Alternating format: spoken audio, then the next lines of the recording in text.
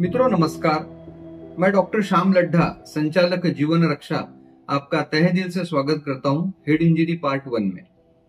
मित्रों, head injury part one में हम चर्चा करेंगे माइल्ड हेड इंजरी की। अब कभी भी किसी आघात अपघात में किसी व्यक्ति के सर पे जब चोट लगती है तो वो बहुत घबरा जाता है। और उस घबराहट में कई बार उसका प्रॉब्लम ये दुगना चौगना हो जाता है।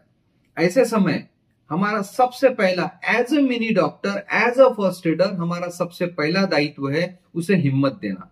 अब हिम्मत कैसे देंगे? तो मैं हूँ ना।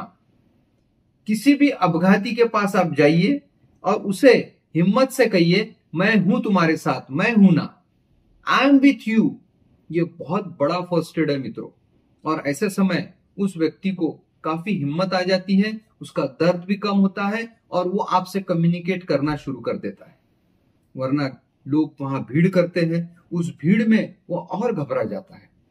तो जब भी किसी व्यक्ति के सर पे चोट लगे, उसे आप एक सुरक्षित स्थान पर बैठाइए। सर पे चोट लगे व्यक्ति को गलती से पानी मत पिलाइए और लोगों की भीड़ दूर करिए। अब उसे हमने सुरक्षित स्थान पर बैठाया है, पानी नहीं पिलाना है, लोगों की भीड़ को दूर किया है। अब देखिए उसे चोट कहाँ है। अब जब सर पे जो चोट उसको लगी है, उसमें कई बार ब्लीडिंग होता है। अगर ब्लीडिंग हो रहा है, रक्तस्त्राव हो रहा है तो एक स्वच्छ कपड़ा लेकर वहाँ दबाकर रखिए। वहाँ सूजन होगी, दर्द होगा। अब सूजन, दर्द, इसके ऊपर हम बर्फ़ लगा सकते हैं। अब नज़दीक पास कहीं आपको आइस मिलता है तो बहुत अच्छी बात है।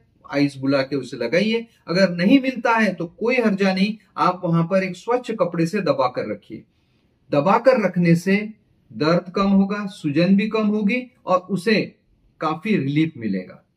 अब इस पूरे दौरान, इस पूरे प्रथमोपचार के समय इस चीज़ का ध्यान रहे कि उस व्यक्ति को पानी नहीं पिलाना है और जितने जल्दी हो सके उसके घर वालों से कांटेक्ट करके उसे आप घर पर पहुंचाइए या नजदीकी किसी अस्पताल में लेके जाइए।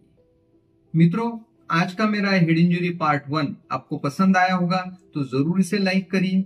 जीवन सुरक्षा इस चैनल को सब्सक्राइब करिए और ज़्यादा से ज़्यादा लोगों तक इस वीडियो को पहुंचाइए ताकि लोगों में जन जागृति आए। और इंतज़ार कीजिए मेरा हेड इंजरी पार्ट टू के लिए। Thank you very much